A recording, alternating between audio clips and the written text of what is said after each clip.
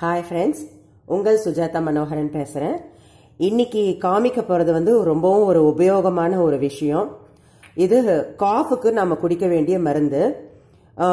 சளி இரும்பல் ரெண்டும் இருந்தாலும் சரி இல்லை வெறும் வரட்டு இரும்பல் இருந்தாலும் சரி இந்த கஷாயம் வந்து அவ்வளோ நல்லா க்யூர் ஆகும்.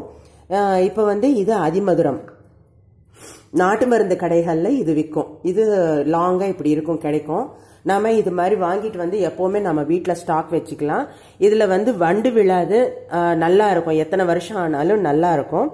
இப்போ இது வந்து எப்படி சாப்பிட்ணும் அப்படின்னா இப்போ வந்து இதில் ஒரு முக்கால் லிட்டர் பாத்திரத்தில் முக்- பாதி அளவுக்கு கொஞ்சம் குறைச்சலாக எடுத்திருக்கேன் தண்ணி. இதுல வந்து இந்த தண்ணி வந்து பாதியா வத்தணும். அந்த அளவுக்கு நம்ம வத்த வைக்கணும். இப்போ வந்து இதுக்கு நான் ஒரு குச்சியை வந்து இந்த அதிமதுர குச்சியை வந்து உடச்சி இதுல போட்டிருக்கேன் நான். இது மாதிரி ஒன்று ரெண்டாக உடச்சி நம்ம இதில் போட்டுடணும்.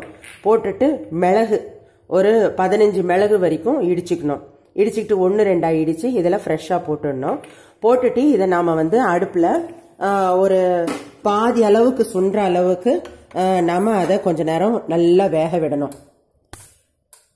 இது கிட்டத்தட்ட ஒரு பாதியே வர பாதியாக ஆகணும். மூடி வைக்க வேண்டிய அவசியம் இல்லை. இப்படியே திறந்துருக்கட்டும். இது வேகட்டும். வேகறதுக்கு முன்னாடி உங்களுக்கு வந்து அது வெந்துகிட்டு இருக்கும்போது நான் உங்களுக்கு இன்னொரு காஃப் காஃபுக்கார மருந்தும் காமிக்கிறேன். இப்போ பாருங்க. நான் இதில் வந்து ஹனி எடுத்திருக்கேன். இது கொஞ்சம் ஒரு ஸ்பூன் அளவுக்கு நான் எடுத்திருக்கேன். பெரிய ஸ்பூன்ல வச்சிருக்கேன். ஏன்னா இது வந்து ஒரு நிமிஷம் நமக்கு சூடாகணும். ஹனியை வந்து சுடவே வைக்கக்கூடாது. ஆனால் இந்த மருந்துக்கு வந்து இது இப்படி சுட வச்சாதான் அது ஒர்க் ஆகும். இப்போ இது மாதிரி இந்த டம்ளர்ல வந்து இரநூறு மில்லி டம்ளர். இதில் வந்து நான் வெந்நீர் எடுத்து வச்சிருக்கேன். கொஞ்சம் சூடான வெந்நீர். இப்போ பாருங்க இப்போ இது லைட்டாக கொதிக்க ஆரம்பிக்குது. அப்போ வந்து ஒரே ஒரு சிட்டிகை மிளகுத்தூள். ஒரே ஒரு சிட்டிக்கு மிளகுத்தூள் போட்டு இந்த தண்ணியில நம்ம மிக்ஸ் பண்ணிடணும். பாருங்க இதை மிக்ஸ் பண்ணி வச்சுட்டு இது ஸ்டார்ட் பண்ணும்போது நாம வந்து குழந்தைங்களுக்கு மெயினா காஃபுக்கு இதை கொடுக்கறது. இப்படி நாம மிக்ஸ் பண்ணி வச்சிடணும். இது குழந்தைங்களுக்கு காஃபுக்கு ரொம்பவும் நல்லா ஹெல்ப்ஃபுல்லா இருக்கும். மிளகு வந்து ஒரே ஒரு ஸ்பூன் மட்டும் அந்த ஒரு சிட்டிகை இல்லை ரெண்டு சிட்டிகை போட்டால் போதும். இப்போ இந்த தண்ணியை வந்து நம்ம மூணா பிரிச்சுக்கணும். மூணா பிரிச்சுக்கிட்டு நைட்டில் தான் நாம ஸ்டார்ட் பண்ணணும். மூணா பிரிச்சுக்கிட்டு நைட்டில் ஸ்டார்ட் பண்ணும்போது ஃபர்ஸ்ட் ஒரு போர்ஷனு அப்புறம் எல்லாம் சாப்பிட்டு முடிச்ச அப்புறம் ஒரு போர்ஷன் கொடுங்க. அதுக்கப்புறம் மார்னிங் ஏந்திரிச்சு டிஃபன் எல்லாம் கொடுத்த அப்புறம் ஒரு டோஸ் கொடுங்க ஒரு போர்ஷனு அதுக்கப்புறம் லஞ்ச் டைம் சாப்பிட்ட அப்புறம் ஒரு போர்ஷன் கொடுங்க. இப்போ நைட்டு நீங்கள் கொடுக்கும்போதே காஃப் நல்லாவே கண்ட்ரோல் ஆகிடும் நல்லா அமைதியாக தூங்குவாங்க. இது ஒரு அருமையான மருந்து. இந்த அதிமதுரம் வந்து நாம் வீட்டில் இருக்கும்போது இந்த கஷாயத்தை நம்ம குடிக்கலாம்.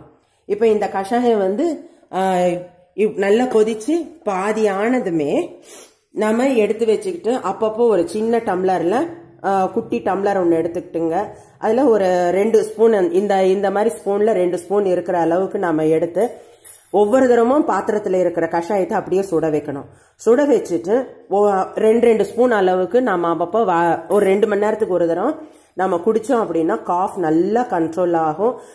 என்ன எவ்வளோ பெரிய எவ்வளோ ஒரு வாரம் மாசமா இருந்தால் கூட அந்த காஃப் கண்ட்ரோல் ஆகும். ரொம்ப அருமையான மருந்து இப்போ நீங்கள் வெளியில் போகிறீங்க இப்போ மார்க்கெட்டிங் பிஸ்னஸில் இருக்கிறவங்க ரொம்ப பேர் ரெப்ரசன்டேட்டிவ்ஸ் அவங்கெல்லாம் நிறைய பேசணும். இப்போ அவங்கெல்லாம் பேசும்போது இது வந்து இது நான் உடச்சி காமிச்சேன் இல்லையா? அது மாதிரி உடச்சதை எடுத்து வச்சுக்கிட்டு இப்போ இது மாதிரி நம்ம ஒன்று ரெண்டாக உடச்சி ஒரு ஜிப் கவரில் வச்சுக்கிட்டோம் அப்படின்னா நம்ம எங்கே போனாலும் நம்ம ஜோபிலேயோ இல்லை ஹேண்ட்பேக்லேயோ இல்லை அவங்கவுங்க ப்ரீஃப் கேஸு ஏதாவது ஒரு பேக் பேக்கில் போட்டு வச்சுக்கிட்டோம் அப்படின்னா இதில் கொஞ்சோண்டு எடுத்து வாயில் போட்டு வச்சுக்கிட்டோம் அப்படின்னா இரும்பல் நல்லா கண்ட்ரோல் ஆகும். நல்லா உடச்சி வச்சுக்கணும். இந்த அளவுக்கு வாயில் போட்டுக்கிட்டா போதும். அந்த இது ஒத- நல்லா பல்லில் அதக்கி வச்சுக்கிட்டோம் அப்படின்னா ஓரமாக வாயில் அதக்கி வச்சுக்கிட்டோம் அப்படின்னா இதில் வந்து அந்த எச்சில் ஊறி அந்த தண்ணி வரும். அதை வந்து நம்ம முழுங்கிட்டே இருந்தோம் அப்படின்னா ரொம்பவும் அந்த காஃப் ட்ரை காஃப் வராது. தேர்ஸ்டினஸ் குறையும். நல்லா நல்ல மேனேஜ் ஆகும் நமக்கு. உடம்பும் நல்லா இருக்கும். இப்போ வந்து டிராவலிங் போகிறவங்களுக்கு இது கண்டிப்பாக ஆகும். இப்போ ஆஃபீஸ்க்கு போகிறவங்க கூட இது எப்பவுமே பேக்ல வச்சுக்கிட்டு நம்ம காஃப் வந்துச்சுன்னா அதாவது இந்த குஷன் சீட்ல உக்காரும்போது நமக்கு அதிகப்படியான ஹீட் வர்றதால காஃப் வரும் சிலருக்கு. அது மாதிரி இருக்கும்போது இது வந்து நல்லாவே காஃபை குறைக்கும். நீங்க ட்ரை பண்ணி பாருங்க. இப்போ வந்து நமக்கு கஷாயம் இப்பதான் கொதிக்க ஆரம்பிக்குது. அதுவும் ஒரு பத்து நிமிஷம் கொதிச்சு இறங்கும் போது நான் காமிக்கிறேன் மறுபடியும். இப்ப பாருங்க இது மஞ்சள் கொம்பு. இப்ப மூக்கு அடைப்பு இருந்து ரிலீவ் ஆகல அப்படின்னு சொன்னா ரொம்பவும் தொந்தரவா இருக்கும். இப்ப இதை வந்து நம்ம அனல்ல இப்படி இந்த கார்னர் மட்டும் இப்படி காமிக்கணும். இப்படி காமிக்கும் போது அது தீஞ்சு புகை வரும்.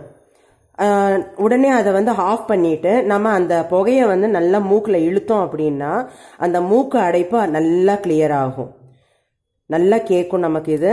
நல்லா இருக்கும் வாசனை. அதை மீன் டைம் வந்து நம்ம வீட்டில் பாருங்க இப்போ இது கொஞ்சம் உள்ளே எரியணும். எரிஞ்சு அந்த கனல் தெரியும். சிகப்பாக அந்த கனல் தெரியும். இப்போ இது வந்து கே- நீங்கள் இப்படியும் செய்யலாம். இல்லை கீழே உக்காந்துட்டு கேண்டிலில் பொருத்தி வச்சுக்கிட்டு அதை கூட நாம் பிறகு அது மாதிரி வாசனை பார்க்கலாம். அவ்வளோ நல்லா இருக்கும் வாசனை. இதை வந்து நம்ம அப்படியே முகர்ந்தோம் அப்படின்னா நோஸ் பிளாக்கு நல்லா கிளியர் ஆகும். நல்லா இருக்கும் வாசம். இது நல்ல கிருமி நாசினிங்கிறதெல்லாம் உங்களுக்கு நல்லா கேட்கும் இது. இப்போ நம்ம வீட்டில் வந்து சாம்பிராணி புகை போடுற பழக்கம் இருந்ததுன்னா இப்போ பாருங்க இந்த புகை வருது இல்லையா? இந்த புகையை வந்து நம்ம சுவாசிக்கணும். இப்படி வாசனை பார்த்தோம் அப்படின்னா மூக்கு கிட்ட வச்சு அந்த புகை வந்து நம்ம நம்மளை நோக்கி வர்ற மாதிரி நம்ம உக்காந்துக்கணும். அந்த கா காற்று வர்ற திசையை பார்த்து நம்ம உக்காந்துட்டு அந்த வர்ற புகையை வந்து நம்ம சுவாசித்தோம் அப்படின்னா த்ரோ இந்த பிளாக் நோஸ் பிளாக்கு நல்லா ரிலீவ் ஆகும். இதே மாதிரி இப்போ நம்ம குழந்தைங்களுக்கு சளி பிடிச்சதுன்னா இது வந்து ரொம்ப காட்டாக இருக்கும். இப்போ பாருங்க புகை எவ்வளோ நல்லா வருது பார்த்தீங்களா இது மாதிரி இது நாம் வாசனை பிடிச்சோம் அப்படின்னா நல்லா சுமாராகும். இப்போ நம்ம வீட்டில் வந்து சாம்பிராணி போக போடுற பழக்கம் இருந்துச்சுன்னா இப்போ சாம்பிராணி போக போட்ட அப்புறம் சாம்பிராணி புகைய சாம்பிராணியோட கொஞ்சம் சர்க்கரை மஞ்சத்தூள் பூண்டு உரிச்ச தோல் இதை மு- மூணையும் கலந்து அதையும் புகை போட்டோம் அப்படின்னா அந்த கொசு போயிடும். அட் த மீன் டைம் இந்த மஞ்சத்தூள் போடுறதால அதை வந்து நம்ம சுவாசிக்கும் போதோ இல்லை குழந்தைங்களுக்கு குழந்தைங்க கை குழந்தைங்க இருந்து அவங்களுக்கு சளி பிடிச்சிருந்தாலும் அது நல்லா ரிலீவ் ஆகும். இப்போ இப்போ எனக்கும் கோல்டு இருக்கிறதால இது அருமையாக இருக்கு வாசனை. பாருங்க எவ்வளோ புகை வருது. மறுபடியும் இது புகை வர்றதை நின்ன அப்புறம் நம்மளும் மறுபடியும் ஆனலில் காமிச்சு அந்த புகையை நம்ம சுவாசித்தோம் அப்படின்னா ரொம்பவும் நல்லா இருக்கும். இப்போ இதுங்க கஷாயம் பாருங்க. இன்னும் கொதிச்சிட்டு இருக்கு. இன்னும் கொஞ்சம் கொதிக்கட்டும். கொதிச்ச அப்புறம் உங்களை நான் மறுபடியும் காமிக்கிறேன்.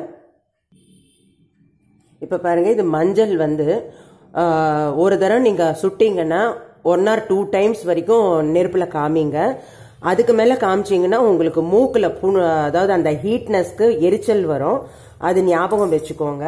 அப்புறம் வந்து இப்போ பாருங்கள் இப்போ கஷாயம் ரெடி ஆயிடுச்சு. இப்போ நான் இது பாருங்கள் பாதி அளவுக்கு சுண்டியிருக்கு பாதி அளவுக்கு சுண்டியிருக்கு இப்போ இது நாம் வந்து ஒவ்வொரு தரம் குடிக்கும் போதும் இப்போ இது சூடாக இருக்கு. சூடு ஆறிடுச்சு அப்படின்னா நம்ம ஒவ்வொரு தரமும் சுட வச்சுக்கணும். ஒவ்வொரு தரம் சுட வச்சு இப்போ இந்த அளவுக்கு நம்ம ஒரு தரம் குடித்தா போதும். இது வந்து சின்ன டம்ளர் ஐம்பது மில்லி டம்ளர் இது. குட்டி டம்ளர் இது. இந்த அளவுக்கு குடிச்சா போதும். நிதானமா அதை சுவைச்சு கொஞ்ச நேரம் வாயில வச்சுட்டு நிதானமா முழுங்கி பழகிக்கோங்க. நல்லா இருக்கும். இப்ப இது வந்து ஒவ்வொரு தரமும் சுட வச்சு நம்ம குடிக்கும் போது மறுபடியும் இது இருக்கிற வரைக்கும் கெடா கெடாது. மறுபடியும் தண்ணி ஃப்ரெஷ்ஷா நம்ம ப்ரிப்பேர் பண்ணிக்கணும். இது வந்து கண்டினியூவா ஒரு நல்ல காஃப் குறையிற வரைக்கும் ஒரு டூ டு த்ரீ டேஸ் வரைக்கும் நம்ம ஃப்ரெஷ்ஷா போட்டு குடிக்கலாம். ஒரு தரம் போட்டோம்னா அது காலி ஆயிடுச்சுன்னா வேற பாத்திரத்துல புதுசா ஒரு அதிமதுரம் அப்புறம் கொஞ்சம் மிளகு இடிச்சு போட்டு நீங்க அது மறுபடியும் ப்ரிப்பேர் பண்ணி சாப்பிடுங்க.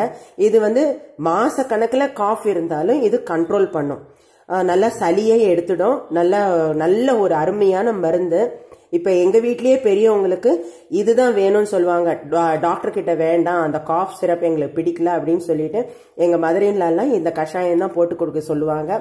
எங்க வீட்டில் எல்லாருமே இதுதான் குடிக்கிறோம். இப்ப இதுவும் எனக்கோசம் தான் நான் போட்டிருக்கேன்.